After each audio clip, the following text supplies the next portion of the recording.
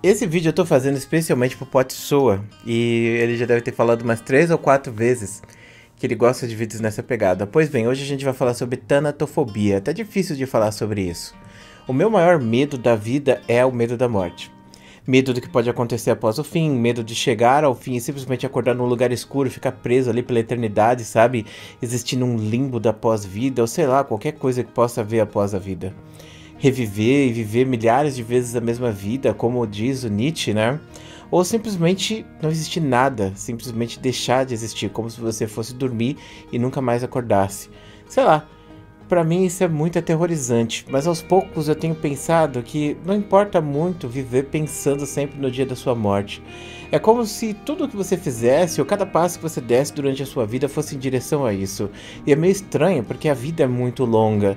E aí você pensa, a morte é, assim, é somente um momento, é só uma coisa que vai acontecer daqui 30, 40 anos e eu passo a maior parte da minha vida pensando nisso.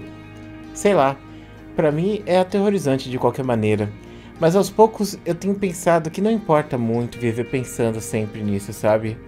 Eu acho que nós não entendemos a morte e jamais vamos. O ser humano ele é limitado ao que o seu cérebro pode pensar. E por mais que às vezes a gente se ache no controle, nós não estamos no controle. E nesse caso, como a gente pode entender algo que é completamente impossível? Pelo menos, né, na forma que nós somos hoje. É como pensar o que, que tem além do universo. É praticamente impossível você imaginar isso.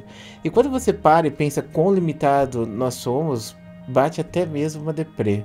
Mas falando sobre esse caso de medo da morte, eu já vi muitas pessoas, né, que tipo, o medo da morte que elas tinham não é porque elas tinham medo de um dia simplesmente vir a falecer, mas é porque a morte era muito presente nas suas vidas. Por exemplo, às vezes você tem um problema tão grave na sua vida e você não consegue solucionar esse problema, e a única forma que o seu inconsciente gera para resolver seria a própria morte. Então a morte se torna muito presente no seu inconsciente, portanto, você teme algo que existe. Então, bom, eu vou dar um exemplo aqui de relacionamento.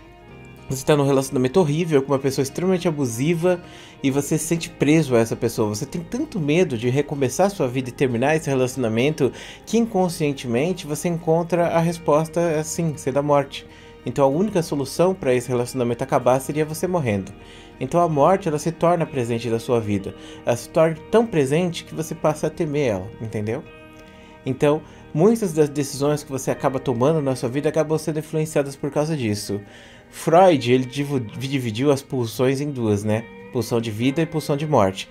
Todas as pessoas elas se direcionam ao prazer, mas ao mesmo tempo que existe essa direção para viver, para ter prazer, existe também o caminho contrário, que é o caminho da morte. E Freud chamou esses dois de líbido e thanatos. A pulsão de vida é o que faz você querer sair de casa, buscar prazer. Porém, ironicamente, se você é 100% pulsão de vida, você vai acabar morrendo. E por que você deve estar se perguntando? Porque às vezes o prazer ele vai se tornando tão e tão complexo que a gente acaba agindo de forma totalmente desregrada, ao ponto de que muitas pessoas encontram, por exemplo, na morte, o prazer. E essa é a ironia da pulsão de vida. Por exemplo, a pessoa às vezes ela se sente, ela só consegue sentir prazer através das drogas, em esportes radicais ou fazer coisas extremamente perigosas e assim por diante.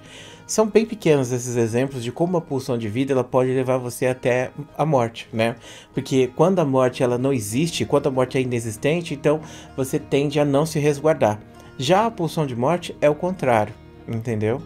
Então, se em um caso você é indestrutível e isso te coloca em risco, a pulsão de morte é o resguarde, que faz com que a pessoa saiba que a morte existe, que a morte está ali, logo à esquina, e que qualquer coisa que você fizer pode fazer com que você morra. Sei lá, você comeu alguma coisa estragada, você engasgou com alguma coisa, você saiu na rua e coisa do tipo. Se a pulsão da morte é tão maior que a pulsão de vida, então você acaba não vivendo nunca, porque você acaba tendo medo até mesmo de atravessar a sua própria rua. Então, a pulsão de morte, ela gera ansiedades, medos e muitas outras coisas, e aí você não vive. Essa é a ironia da pulsão de vida e da pulsão de morte. Se você só tem morte, você não vive, e se você só tem vida, você morre. É meio irônico que a morte, né, seja o resguarde e ela de certa forma também leve à morte, né? Embora que a morte e a morte, é, já, tá ficando confuso esse vídeo, né? Mas vamos lá. Para você existir, você tem que ter 100% de certeza que você vai morrer um dia. Mas por que, que a gente teme tanto a morte então? Por que, que a gente teme algo que é tipo, que a gente vai ver, que vai acontecer na nossa vida? Porque a gente não entende ela. E porque a gente jamais vai entender. Por isso que a gente usa religião, por exemplo, e mito para justificar a morte. Desde o começo, desde o primeiro ser humano inteligente, as pessoas criaram rituais e mitos para entender e abrandar esse significado de morte. Às vezes, morrer é abrir uma porta e entrar num lugar completamente diferente. E, em outro caso, simplesmente desaparecer. Mas de qualquer maneira, eu acho que a morte ela vai muito além disso. E ao mesmo tempo que isso é enlouquecedor e extremamente angustiante de pensar, é algo que a gente não tem como evitar.